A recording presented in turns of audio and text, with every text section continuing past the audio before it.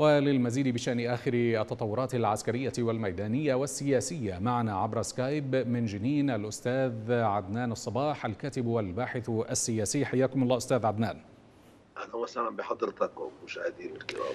حياكم الله أستاذ عدنان كما تعلم يعني مر أكثر من 300 يوم على هذا العدوان الإسرائيلي المستمر وما زال الفلسطينيون يواجهون النزوح المتكرر مرة تلو المرة تحت نيران الاحتلال الذي يستهدف من خلالها المدارس والوكالات والمخيمات وكل ما يمكن أن يعني يؤوي نازحين أو اناسا عاديين. ما هدف الاحتلال من مواصلة هذه الممارسات التي تعد بحسب القانون الدولي إبادة جماعية وجريمة حرب؟ الاحتلال له هدف واحد التخلص من الشعب الفلسطيني على أرض. هذا هو الهدف الرئيسي الذي يسعى إليه الاحتلال.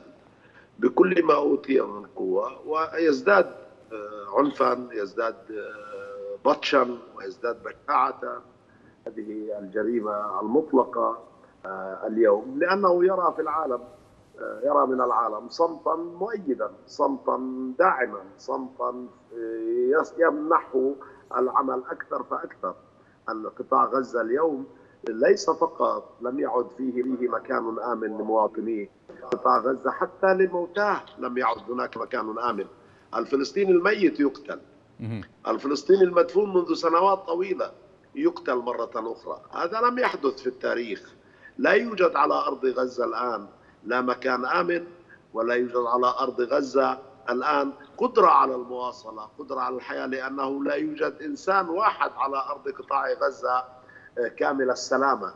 المرضى المرض أنواع الأمراض التي أعدمت تقريبا انتهت. لم لم يكن أحد يتحدث عن شلل الأطفال. هذه شلل الأطفال أن يعود إلى قطاع غزة في ظل هذه المقتلة. هذه من أبشع الجرائم الآن التي تحدث التي نتحدث لا زلنا نتحدث عن القانون الإنساني والقانون الإنساني الدولي. السؤال هل هناك إنسانية أصلا؟ طيب إذا كان هناك إنسانية سيكون لدي قانون إنساني. أنا أقول لك وبصراحة الذي يجري على أرض قطاع غزة لشعبنا لأطفالنا لنسائنا لرجالنا هناك هذا اعلان اعلان موت للمجتمع طيب الإنساني. طيب أستاذ عدنان ما الذي يجعل بنيامين نتنياهو متمسكا حتى الآن على الأقل بنظريته وباعتقاده بأن المزيد من الضغط على المقاومة من خلال استهداف المدنيين سيدفعها إلى تقديم تنازلات على الرغم من أن المقاومة لم يعني تقدم تنازلات في هذا السياق وما زالت مستمرة وصامدة حتى الآن. اولا أقول لك الاسم الحقيقي لبنيامين نتنياهو هو جو بايدن. هذا هو الاسم الحقيقي، هذا اسم اسم القاتل المأجور الصغير ال- الذي يعمل لدى البيت الشيطان في الولايات المتحدة الأمريكية والذي لا يريد لهذه المقتلة أن تتوقف هو جو بايدن الذي يمنح أدوات الموت والذي يمنح أدوات القتل والذي يمنح أدوات الدمار والذي لا يترك فرصة إلا ويقول لا يترك فرصة. حتى حين يتحدث عن المقتله أو المظلمة أو المحرقة التي يتعرض لها شعبنا على أرض قطاع غزة ينهيها دائما بأنه ملتزم بأمن دولة الاحتلال بأن من حق دولة الاحتلال الدفاع عن نفسها بأن علينا استعادة الرهائن ما يسميهم بالرهائن.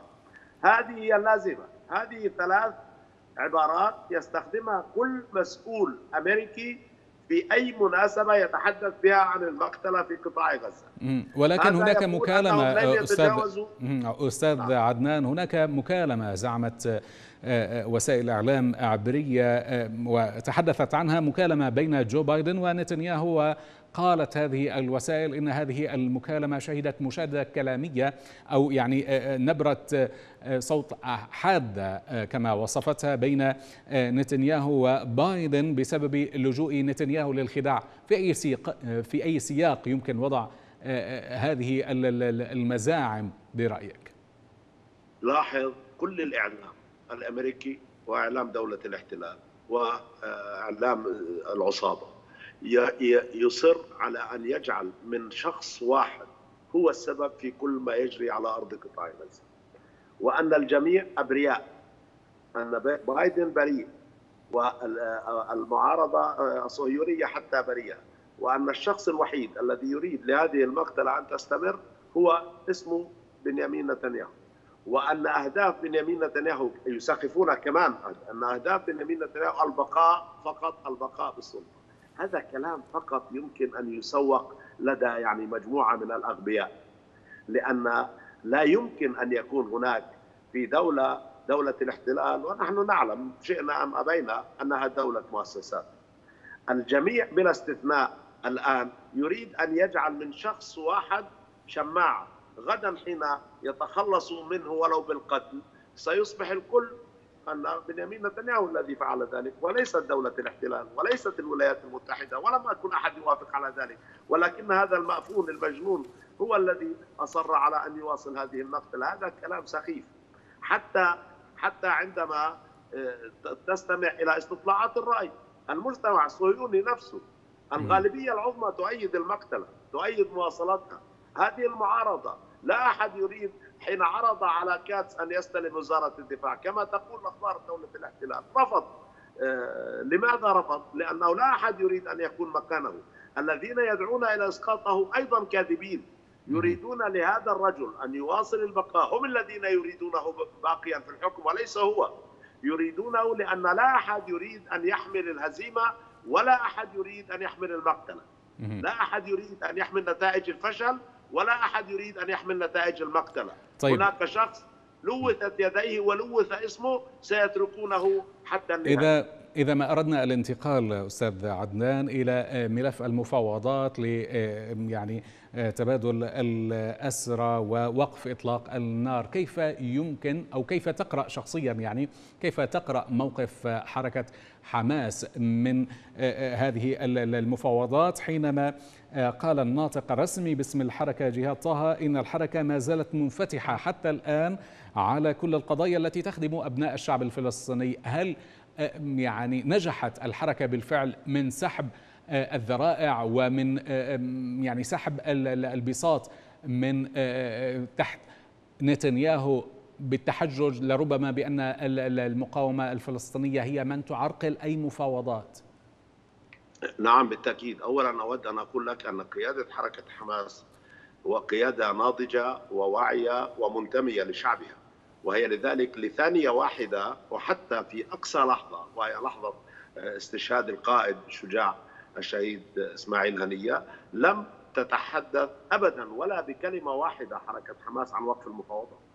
لأن موضوع المفاوضات له علاقة بقضية الشعب باحتياجات شعبها باحتياجات البلد باحتياجات الناس وبالتالي هي أبدا لم تربط. أهم حدث كان وكان كل العالم يتوقع بل الاحتلال نفسه كان يهدف باغتيال قائد المفاوضات لأنه أيضا كان قائد الحركة وقائد الوطن وقائد المفاوضات.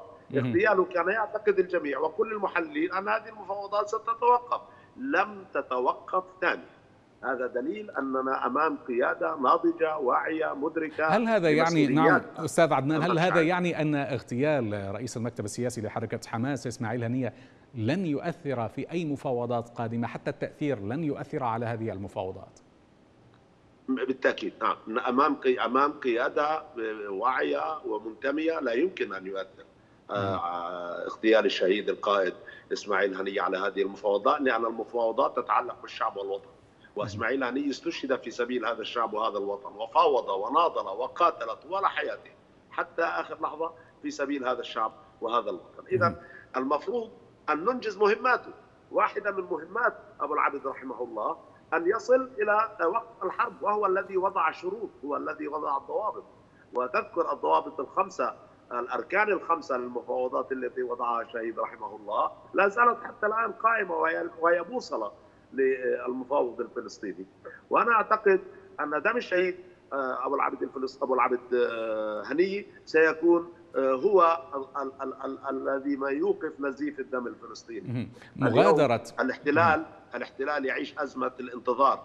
الاحتلال يعيش أزمة الهلع لأن هناك تهديدات من كل الجهات. وبالتالي لاحظ حركة التفاوض في أقصى وأعلى درجاتها الآن لأن الاحتلال يحاول أن يقايض. أقول وبوضوح يحاول أن يقايض دم الشهيد أبو العبد هنية القائد الشجاع ودم القائد في في حزب الله الحاج محسن بوقت إطلاق النار. وهو يدرك جيدا أن مخرجه من الأزمة في الشمال والأزمة في الجنوب والأزمة في خارج في البحر الأحمر والأزمة في المنطقة والأزمة مع إيران هي وقت إطلاق النار ووقف ووقف المقتلة ضد شعبنا الفلسطيني نعم يعني من الملاحظ خاصة بعد انسحاب أو مغادرة مغادرة وفد الاحتلال للعاصمة المصرية القاهرة أن بنيامين نتنياهو يعني لا زال يماطل ما زال يماطل ويحاول لربما التسويف والتعطيل. السؤال هنا هل يملك أو هل لا زال يملك بنيامين نتنياهو ترف الوقت من أجل هذه المماطلة خاصة بعدما أشيع عن الضغوط الذي يمارسها الرئيس الأمريكي جو بايدن لعقد صفقه قبل نهاية ولايته. الصفقة ستعقد وستعقد قريبا هذا ما اعتقده لأن الولايات المتحدة لا تريد حربا واسعة ولا تريد أن تزج بنفسها في حرب في المنطقة والمخرج الوحيد الذي أعلنه الجميع وتعرفه الولايات المتحدة ويعرفه القاتل المأجور أن وقف المقتلة في قطاع غزة سيوقف كل الجبهات فورا وبثانية واحدة وبالتالي لا بديل ولا خيار أمام سيد المقتلة وقاتله المأجور سوى الذهاب إلى وقف هذه المقتلة ضد شعبنا في قطاع غزة أو فإن الحرب ستنفتح على مصراعيها ولا أحد يدري ولا يدرك إلى اين وهذا ما أن تأخذ به. وهذا ما يسعى إليه بنيامين نتنياهو ويبدو أنه يعني حتى الآن ينجح في هذا المسار ومسار التصعيد ودفع لربما الإدارة الأمريكية للدخول في حرب شاملة. أنا لا أعتقد أنه ينجح، أنا أعتقد أن النجاح للولايات المتحدة هو أصر أصر دائما أنه مجرد قاتل مأجور صغير لا حول له ولا قوة وهم يمنحونه وينفخون به لأنهم يريدون أن يمنحونه كل التهم وكل الجريمة إذا ما مصلحة نعم عذرا للمقاطعة أستاذ عدنان ولكن ما مصلحة نعم. الولايات المتحدة في هذا التصعيد؟ لا الولايات المتحدة أولا هي صاحبة المصلحة بأن ما جرى في السابع من أكتوبر حطم مشروعها وهي صاحبة المصلحة في استعادة المشروع صاحبة المصلحة لأنها اكتشفت أن قاتلها المأجور الذي كان الجميع يسعى لرضاه لكسب وده وكسب رضاه وكان يعتقد البعض أن هذا حامل حمى وهذه الدولة الأقوى وهذا الجيش الأقوى وهذا الجيش الأكثر قدرة. واكتشف وفضح فضحت هذه هذا الهيلمان اللي كانت صانعته الولايات المتحدة ودولة الاحتلال حول أنفسهم بأنها الجيش الأكثر الأكثر قوة في المنطقة. والجيش الذي لا يقهر والجيش الردع وكل هذه الحكاية الكذابة فضحت نفست في السابع من أكتوبر، الآن الولايات أقول لك ولاحظ لماذا يصر الاحتلال على منع العودة إلى شمال قطاع غزة بكل السبل؟ لماذا ركب الميناء وأعد ثم أعيد ترتيبه وخزنه في المنطقة؟ وتحت حجة الرياح. وأنت تصدق أن البحر المتوسط فيه يعني أمواج تمنع ميناء عائم. البحر المتوسط ما, ما هو السبب الحقيقي؟ بحاجة الآن بحاجة الآن لأن تحمي قاتلها المأجور. الولايات المتحدة تريد لشمال قطاع غزة أن يكون قاعدة أمريكية على شرق المتوسط لأنها لا تملك قاعدة أمريكية في شرق المتوسط. الولايات المتحدة تريد بناء حلف أمني بالمنطقة بقيادتها لأنها لم تعد تعتمد على دوله القاتل الماجور. الولايات المتحدة تريد مكانها هناك لأنها تريد اولا الموقع الأمني في الشرق المتوسط وتريد القناة الم... قناة بن غوريون عازل مائي لدولة الاحتلال وأيضا عامل اقتصادي وتريد أيضا الغاز الفلسطيني وبالتالي هذه هي مصالحها وتعمل في سبيلها. هذا إلى جانب أن وجودها في المنطقة سيجعل سيمنحها قوة في أهدافها في الشرقين شرق أوروبا وشرق آسيا. نعم اذا لمعاركها القادمة. شكرا جزيلا لك كنت ضيفا عبر سكايب من جنين. الأستاذ عدنان الصباح الكاتب والباحث السياسي شكرا جزيلا لك.